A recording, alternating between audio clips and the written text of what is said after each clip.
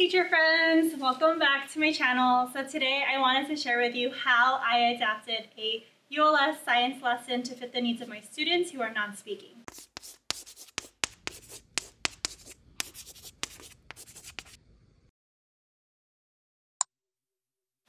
So if you may or may not know, I have seven students in my classroom and they are non-speaking, so we have to adapt the lesson to meet their needs.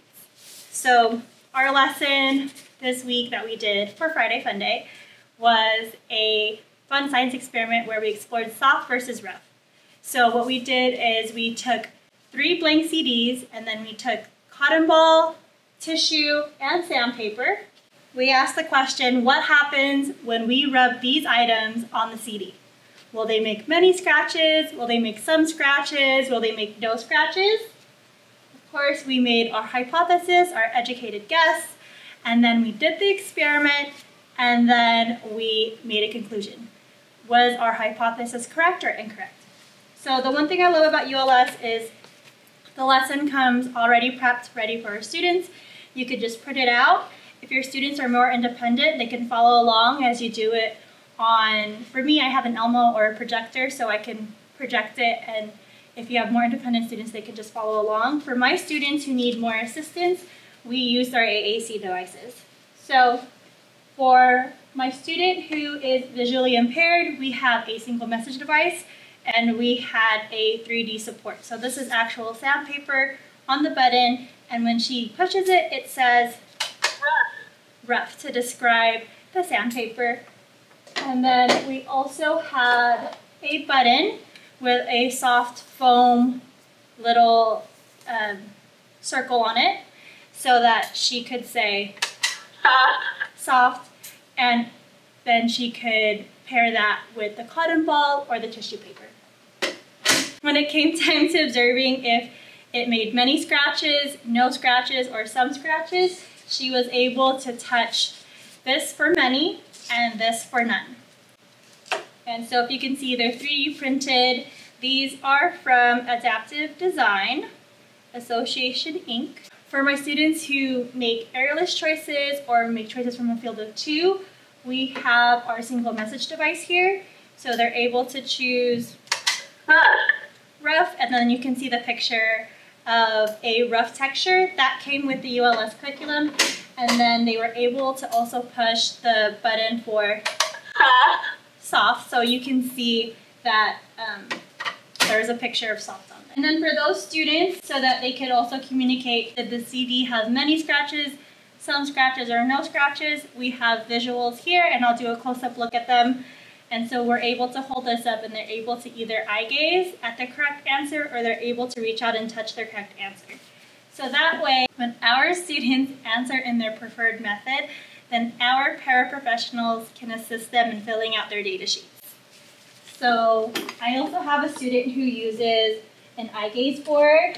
So that student is able to look at rough or soft to tell me the different descriptors. And then they were also able to turn it around and let us know with eye gaze if there are many scratches, no scratches, or some scratches. So all of these visuals I printed from the ULS curriculum so that's one thing I love about the ULS curriculum.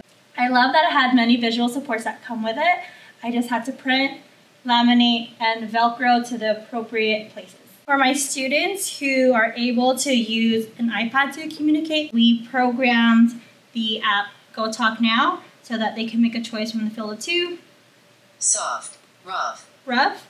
As the students were doing the experiment, I was walking around the classroom observing what they were doing as well as modeling on our projector using my Elmo how to fill out the how to fill out the data sheets. So as you can see, it goes over every step, which is wonderful. Goes over what we know. Step one, ask a question. Take, step two, make a hypothesis. Step three, do the experiment, and it lays out the experiment. Step four, organize your data. So what happens? And then step five is to find the conclusion.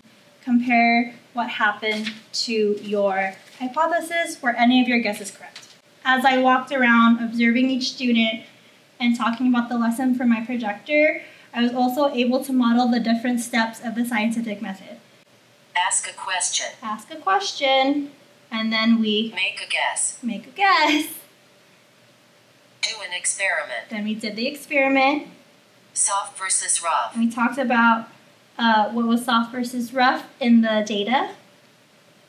Completed scientific process. And then we're all done. We completed the scientific process. So I love how ULS sets everything out to make it accessible for our students. I do have to take it a step further and adapt it further because most of my students are level three. They're also non-speaking, and so I have to give them various ways to communicate so that they can engage and participate in a meaningful way. But that was our lesson that we did for Friday Fun Day. I want to add that it was an observation that I had with my admin. So it was the lesson where they came in to make sure I know what I'm doing.